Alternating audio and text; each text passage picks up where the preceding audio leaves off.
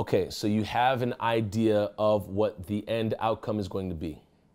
And take that, throw it out.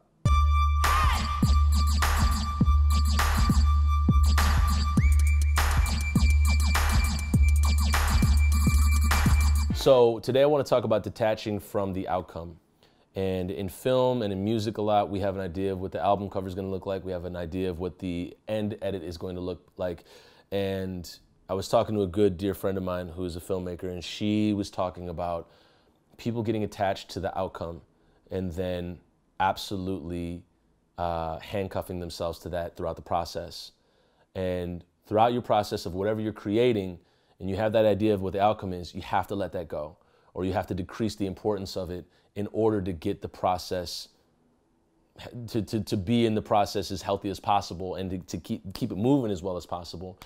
I've seen entire sets, entire albums, uh, entire uh, you know paintings and, and, and, and drawings, and artists just absolutely implode because they don't think that the process is going towards the outcome they have in their head. I've watched directors have the entire film cut in their head, and when they don't see it playing out that the way that they have it cut in their head, the process implodes. You can't get to the outcome without the process. That is just the way it is. And if anybody believes otherwise, write in the comments below. I'd love to hear your take on it. That being said, you you you have to have an obvious vision of what you want to do and what you want to get done. But then you also have to absolutely respect how you're going to get there. If you don't keep in mind how you're going to get to that point in place, you you end up sabotaging yourself in getting there. Um, just a, a, a, small example, um, the Van Duzens. I knew that I wanted the Van Duzens, their promo banner, to look like a million little things from ABC. And I, I ended up making a banner just like that, but it took me a long time to get there. And then I watched a million little things and I was like, man, my show's gonna look dope like that. It looked nothing like it, nothing like it at all. It's handheld cams and stuff moving around. And later on, people are like, this, this is a really loosey goosey way of shooting it. And I'm like, what do you mean by loosey goosey? We got there how we got there. And I loved it. I loved it. There was a certain point in filming the Van Duzen's episodic series that I had to let go. There was no other way. We filmed for 36 days over the course of 10 months. What am I going to do? Halt it, say reshoot everything? No. It's, it, it's, it may not have fit what I verbatim had in my mind, but it was going to happen regardless.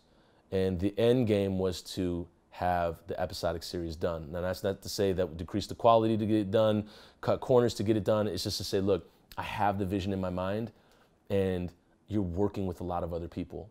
And they may not all have it in their head, and it's going to come out the way that it comes out. And you have to respect the process in finding that end. And also, you may find something better than you initially had in mind. Just don't marry yourself to it. That's all I'm saying. Um, and if you disagree or agree, I would love to hear what you think about that because I'm still thinking and processing about that process as well. And and um, I've I've thought a lot about approaching projects uh, being very outcome uh, minded with that and, and how that can sabotage an entire project as well. But uh, detach from the outcome, enjoy the process, you'll get there. Uh, and in the vein of that, um, which has been ever evolving, has been my Patreon. Um, and talk about detaching from an outcome.